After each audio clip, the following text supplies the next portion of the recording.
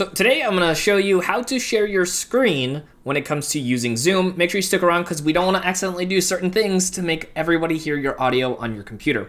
So you can see we actually are on our Zoom in real time, so hopefully this makes it easier for you to be able to follow. So we're here on our screen. Um, you can see that I'm currently in a Zoom call by myself.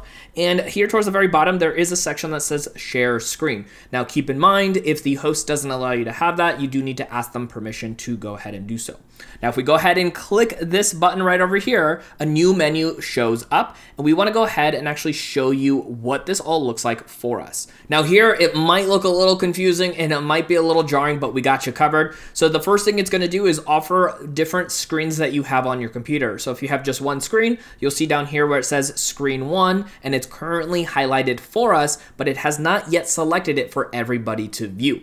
Now, if this is the scene we want to go ahead and showcase, what we do is just look towards the bottom right hand side and there is a share button for us to click and that will go ahead and share the screen with everybody that's on the Zoom call. Now, like I mentioned earlier though, one thing we want to be careful of is here towards the bottom, there is a section that says share sound. So that way people can hear what you hear on your computer. So obviously if you want this toggled on, just go ahead and click the little checkbox. If not, go ahead and make sure it is unchecked so nobody hears your audio on your computer. Now, if everything looks good, you can go ahead and click on share and that will show you whatever's on screen from your computer over to everybody on the Zoom call.